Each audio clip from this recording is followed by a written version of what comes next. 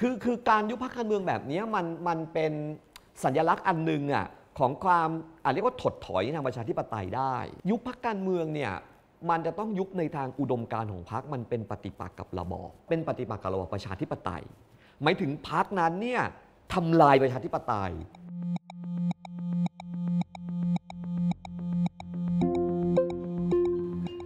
โอ้ไม่พร่ำเพื่อแบบนี้ไม่ใช่แบบนี้ครับเออนี่ถามบดีในต่างประเทศไม่เป็นแบบนี้หรอก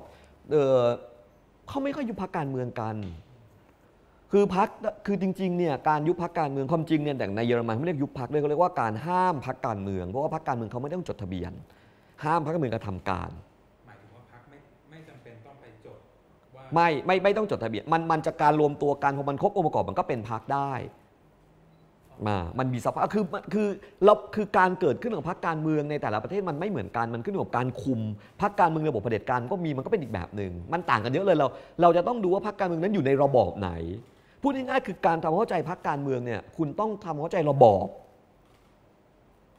ที่ตอนนี้ผมเรียกว่าระบอบที่ตั้งชื่อไม่ได้เลยอย่างเงี้ยคุณต้องเข้าใจว่าเออมันมันเป็นเรื่องของระบอบโอเคมันเป็นระบอบประชาธิปไตยเป็นระอะไรนู่นนี่ตรงเนี้ย ระบอบระบอบที่ตั้งชื่อไม่ได้ก็อาจจะมีพรรคการเมืองแบบหนึ่งระบอบเผด็จการอาจจะมีอะไรแบบหนึ่งอะไรประมาณนี้คือลักษณะของตัวกฎเกณฑ์ที่กำหนดพรรคการเมืองเนี่ยมันไม่เหมือนกันดังนั้นถามว่าในต่างประเทศเขามีการยุบพรรคการเมืองแบบนี้ไหมปกติไม่มี คือคือการยุบพรรคการเมืองแบบนี้มันมันเป็นสัญลักษณ์อันหนึ่งอะของความอาจเรียกว่าถดถอยทางประชาธิปไตยได้ มันเป็นดัชนีอันหนึ่งเขาถึงเขาถึงต่อต้านยุบพรรคการเมืองเนี่ย มันจะต้องยุบในทางอุดมการของพรรคมันเป็นปฏิปักษ์กับระบอบโดยทั่วไปนะคือเป็นเป็นเป็นปฏิปักษ์กับระบอบเป็นปฏิปักษ์กับระบอบประชาธิปไตย หมายถึงพรรคนั้นเนี่ยทำลายประชาธิปไตยแค่ว่าตัวพรรคน่ะเกิดขึ้นจากประชาธิปไตยพูดง่ายๆถ้าพูดแบบเอาแบบให้มันให้มันแบบอออะไรละหวือหวาหน่อยคือ ประชาธิปไตยให้กำเนิดคุณ เป็นแม่ให้กำเนิดคุณ คุณจะทำมาตุคาตคุณจะฆ่าแม่ แม่ก็ต้องฆ่าก่อน เพื่อไม่ให้ตัวแม่ทันทีถูกฆ่านึกไหมฮะคือคือตัวระบบมันก็ต้องจัดการก่อน ซึ่งแน่นอนไอ้ระบบที่เวลามันจัดการแบบนี้มันก็เป็นปัญหาเถียงกันมากในทางวิชาการว่ายอมไหม อย่างเช่นตอนในเยอรมันยุบพรรคคอมมิวนิสต์เนี่ยโอ้ยเถียงกันเยอะมากว่าทำไมถึงไม่ยอมให้มีพรรคคอมมิวนิสต์อะไรอย่างเงี้ยแต่ตอนยุบพรรคนาซีนะใหม่อะไรอย่างเงี้ยมันก็ไม่เท่าไหร่เลยพวกนี้ใช่ไหมล่ะเออแต่ว่าพอเป็นคอมมิวนิสต์เนี่ยมันเป็นปัญหาละ เพราะมันก็เป็นอุดมการณ์อันหนึ่งถูกป่ะที่มันก็มันมีปัญหาแล้วคอมมิวนิสต์เนี่ยกับประชาธิปไตยเนี่ยมันคอมมิวนิสต์เนี่เป็นอุดมการณ์ประชาธิปไตยหรือเอานี้ก็เป็นเรื่องที่เถียงกันบางคนบอกว่าคอมมิวนิสต์ไม่ใช่ประชาธิปไตยอะเป็นอีกอันหนึ่งประมาณนั้นแต่สังเกตว่าเขาจะไปที่ตัวตัวไอไอตัวอุดมการหรือตัวการกระทำแบบนั้นของพรรคไม่ได้การจิบจิบอย่างนี้หรอก รับเดินอะไรก็ไม่ใช่หรอกครับ มันไม่ไม่มีและไอ้พวกนี้ลองไปดูกฎหมายพวกนี้ที่มาเนี่ยมันมันมาในยุคหลังครับ อันนี้มันเป็นผลพวงการ shape ระบอบแบบที่มันเปลี่ยนไปมากเลยใน 10 กว่าปีมานี้ กฎหมายพรรคการเมืองของเราอะที่แบบว่ายาแรงยาเข้มอะไรประมาณนี้ถึงตัดสิทธิ์อะไรกันทั้งตัดสิทธิ์สมัครรับเลือกตั้งตัดสิทธิ์ตั้งลุงตุงนั่งไปหมดผมเป็นนักกฎหมายผมอ่านแล้วผมยังงงมันอะไรกันนักกันหนาวะเนี่ยถูกป่ะแล้วมันมีคนเขียนกฎหมายนี่มันอยู่กันกี่คนนะมันก็เขียนอยู่ในวงคนที่เป็นนักกฎหมาย ซึ่งเซิร์ฟไอตัวไอระบอบวิธีคิดอะไรพวกนี้ ซึ่งซึ่งเขากลุ่มสภาพกลุ่มอำนาจอยู่ มันเป็นแบบนั้นกรณีของยุคพรรคคอมมิวนิสต์กับพรรคนาซีของเยอรมันครับของมันคือ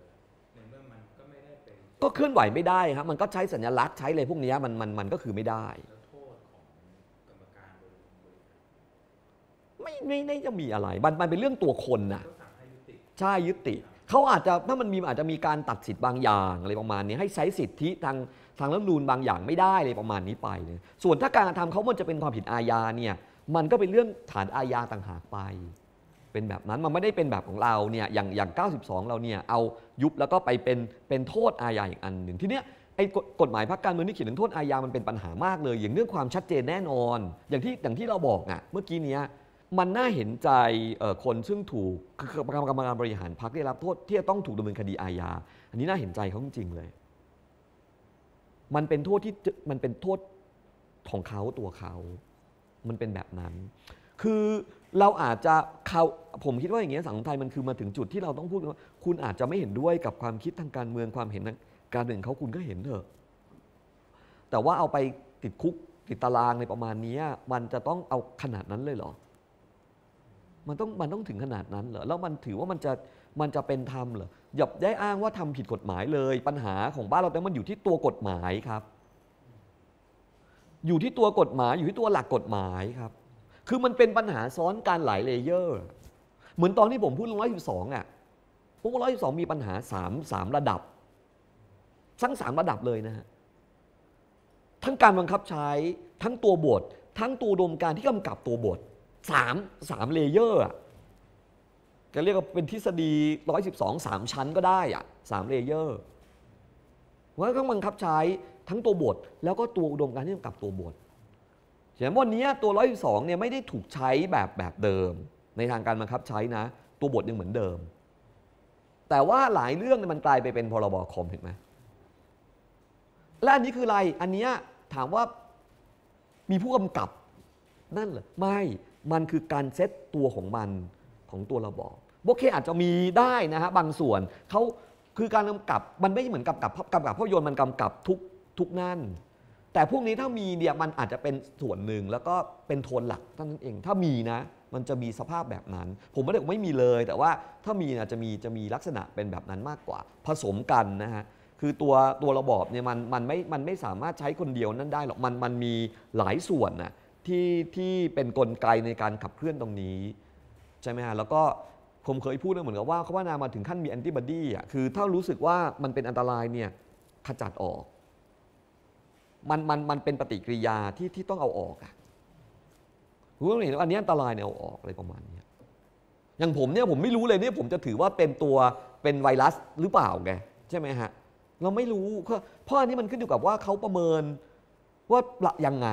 ผมก็โอ้ผมก็ให้ความเห็นไปแบบนี้มันก็เป็นความเห็นที่ผมเห็นเพราะว่าเป็นนักวิชาการเราก็ต้องพูด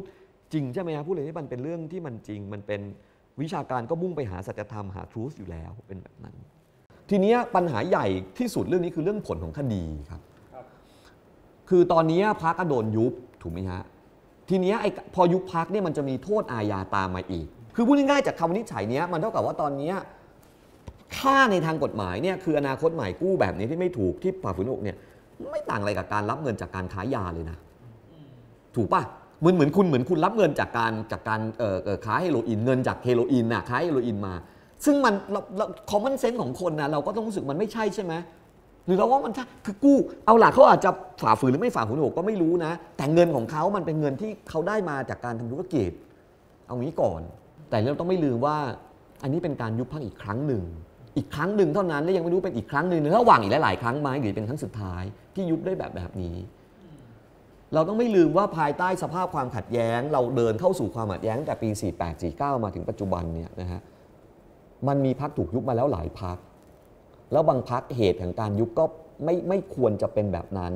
ยุบพักไทยรักไทยนี่ชัดเจนมากเลยอะยุบไทยรักไทยเนี่ยเน้นเป็นการยุบหลังรัฐประหาร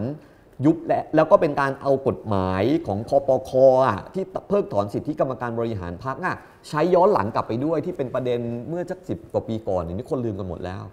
111คนที่เขาถูกตัดสิทธิ์เนี่ยเขาไม่แฟร์ด้วยเพราะว่า เขาไม่ได้ถูกตัดสิทธิ์จากกฎหมายที่ใช้อยู่ตอนที่เขากระทำหรือไม่กระทำก็ตาม แล้วเสร็จแล้วก็มาเรื่องยุบพลังประชาชน คือมองย้อนกลับไปอะคือ ผมว่าผมไม่รู้ต้องใช้เวลานานแค่ไหนนะกว่าที่ในวันข้างหน้า ถ้าเรากลับไปดูแฟกต์ในอดีต แล้วเอาแบบใจแบบกลางๆเป็นธรรมแล้วดูอะไม่อย่าเพิ่งดูหน้าคนนะบางทีเราอาจจะได้ความคิดอะไรใหม่ ๆ มากขึ้น แล้วอยากให้คนรุ่นหลังๆ ได้เห็นประเด็นพวกนั้นตอนนี้เขาเด็กรุ่นหลังก็ รู้สึกว่าอนาคตใหม่ถูกทรีตไม่ไม่ไม่ถูก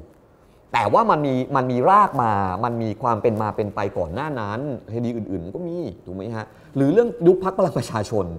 ทำผิดคนเดียวอะยุบทั้งพัก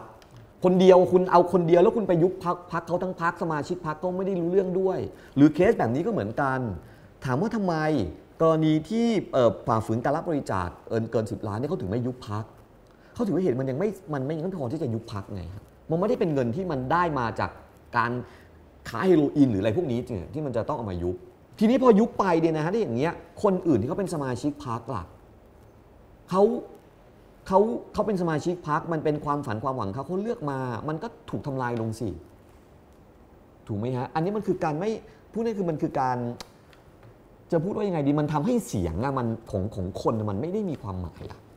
การยุบพักยุบพักเราจึงผมว่าเราจึงไม่จึงควรจำกัดเฉพาะเรื่องอนาคตใหม่ เอาเข้าจริงเนี่ยมันคือต้องสังคายนาเรื่องกฎหมายยุบพักอะ